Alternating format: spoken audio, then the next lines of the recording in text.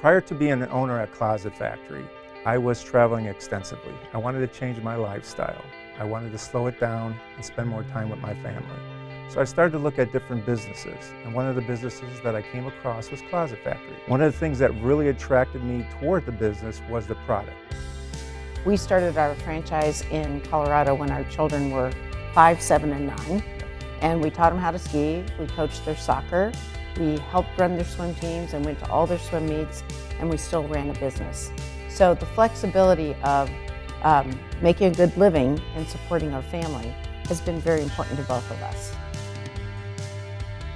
Before joining Closet Factory, I owned an independent closet company, and I felt I had taken it as far as I could on my own. And I wanted all of the systems and procedures that, that Closet Factory gave me um, to allow me to take the business to the next level and become successful.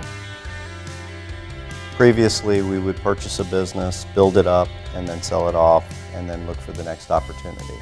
We've been Closet Factory owners for over 10 years now, and I have no desire to sell this business. The profit margins, the ability for us to continue to garner cash flow out of the business has mitigated any, any idea I had of ever selling it. It's endless as to what I like about the Closet Factory. I love the fact it's where designers' dreams come true. You can build anything, you can make anything. It never stops evolving. It's always something new, so it never gets boring. We chose Closet Factory because after we began our research, uh, we learned how important quality was, uh, how much control is local, and uh, the wide range of products that we can offer is pretty impressive in the industry.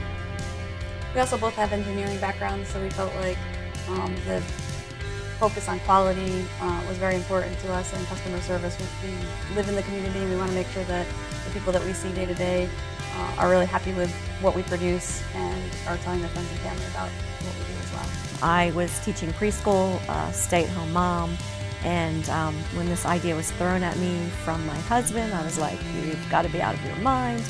And here we are 17 years later, and it was the best decision we made.